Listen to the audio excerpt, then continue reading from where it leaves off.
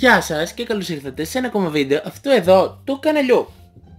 Σήμερα αποφάσισα να κάνουμε ένα βίντεο, από εδώ είναι η Μούνα αρχικά. Α, αποφάσισα να κάνω ένα βίντεο και να σας δείξω πώς κάνουμε κοτσίδα γαλλική και ολλανδική.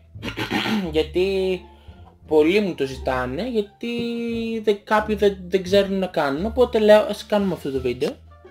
Αυτό το πλάνο δεν είναι σωστό και καλύτερο. Λοιπόν, από εδώ η Μούνα, όπως σας είπα, τα μαλλιά της τώρα αυτή τη στιγμή είναι κοτσιδάκια. Ε, έχουν βγει κυματιστά γιατί τα, τα είχα κάνει cornrows. Όποιος ξέρει τι είναι θα καταλάβει. Είναι πολύ λεπτά κοτσιδάκια, κολλημένα τελείως στο κεφάλι. Και πάρα πολλά, τύπου 8 μπορείς να κάνεις. Ε, γενικά είναι, είναι πολλά. Λοιπόν, ε, στο σημερινό βίντεο λοιπόν αποφάσισα να σας δείξω πώς κάνουμε μια κοτσίδα Ολλανδική ή Γαλλική. Λοιπόν, είναι δύο διαφορετικές. Η Ολλανδική είναι αυτή που είναι προς τα έξω, δηλαδή ε, πας τα κοτσιδάκια από κάτω μεριά οπότε βγαίνει ανάγλυφη, ενώ η Γαλλική είναι από πάνω το κοτσιδάκι οπότε βγαίνει επίπεδη. Λοιπόν, θα ξεκινήσουμε με την Ολλανδική γιατί για κάποιο λόγο κάνω πιο γρήγορα από ότι τη Γαλλική. Εντάξει, δεν είναι λέει. Λοιπόν, παίρνουμε ένα μικρό κομμάτι μαλλιών και το χωρίζουμε στα τρία. Ωραία. Στα τρία. Μετά παίρνουμε το δεξί κομμάτι και το περνάμε κάτω από το μεσαίο κομμάτι. Ωραία. Μετά ε, παίρνουμε το αριστερό κομμάτι, δηλαδή αυτή εδώ την τούφα και την περνάμε κάτω από τη μέση πάλι. Και έχουμε τώρα δημιουργήσει κάτι σαν σταυρό ε, αφήνουμε το ένα κομμάτι, παίρνουμε μία τουφίτσα από τα υπόλοιπα μαλλιά και την περνάμε πάλι κάτω από τη μέση. Μετά κάνουμε το ίδιο και από την άλλη μεριά. Αφήνουμε την τουφίτσα, παίρνουμε μαλλιά και το περνάμε κάτω από τη μέση πάλι. Μετά παίρνουμε πάλι το δεξί κομμάτι και το περνά, παίρνουμε μαλλιά, το περνάμε στη μέση και ε, αρχίζει να φαίνεται η κοτσίδα μας. Λοιπόν, μετά παίρνουμε το αριστερό κομμάτι και το περνάμε πάλι κάτω από το κέντρο, παίρνουμε μαλλιά επίσης και το περνάμε στη μέση. Μετά αφήνουμε το δεξί, πιάνουμε τουφάκια, μαλλιά, μια τουφίτσα και το περνάμε κάτω από τη μέση. Ε, μετά παίρνουμε το αριστερό και το περνάμε πάλι κάτω από τη μέση. Και όπως μπορείτε να δείτε έχει αρχίσει να σχηματίζεται. Εγώ τώρα θα το κάνω γρήγορα. Να δούμε το τελικό αποτέλεσμα. Και θα τα πούμε σε λίγο. Όταν θα έχω τελειώσει να σας τη δείξω. Τελείωσα και η κοτσίδα έχει βγει έτσι.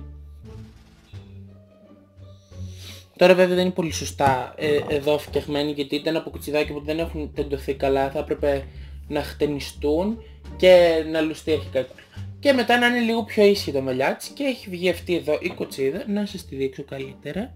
Λοιπόν, νάτι. και αυτή εδώ είναι η Ολλανδική κοτσίδα. Τώρα, ε, από εδώ θα σας δείξω πώς κάνουμε την γαλλική, η οποία γαλλική είναι από πάνω. Οπότε θα σας δείξουμε και τη γαλλική. Τώρα θα σηκωθώ γιατί δεν με βολεύει. Και να, αν μπορείτε κι εσείς να το δείτε καλύτερα. Λοιπόν, πέφτει το κινητό. Τέλεια. Λοιπόν, εδώ. Χωρίζουμε πάλι τα μαλλιά. Έχουμε μία τούφα, αυτή είναι αρκετά μεγάλη, οπότε χωρίζουμε. Και παίρνουμε, χωρίζουμε σε τρία κομμάτια και έχουμε αυτό εδώ την κατάσταση. Ένα, δύο, εδώ, τρία. Παίρνουμε το δεξί, το περνάμε πάνω από τη μέση. Παίρνουμε το αριστερό, το περνάμε πάνω από τη μέση. Παίρνουμε το δεξί, το περνάμε πάνω από τη μέση. Παίρνουμε μαλλιά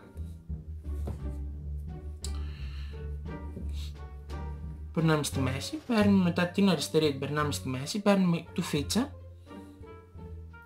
μετά παίρνουμε το δεξί, το περνάμε στη μέση, παίρνουμε μαλλιά, τα προσθέτουμε στην μεσαία ρουφά, πάντα, μετά παίρνουμε ξανά μαλλιά, περνάμε στη μεσαία τούφα, μετά παίρνουμε μαλλιά από τη δεξιά, παίρνουμε τούφα, προσθέτουμε στη μεσαία τούφα, Παίρνουμε την αριστερή, την περνάμε στη μέση, παίρνουμε το φάκι, το, περνά, το βάζουμε στη μεσαία του φίτσα που έχουμε φτιάξει. Μετά περνάμε τη δεξιά, την περνάμε πάλι πάνω. Και αυτό κάνουμε μέχρι κάτω.